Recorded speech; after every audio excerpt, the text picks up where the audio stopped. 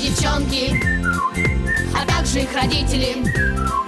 Веселые истории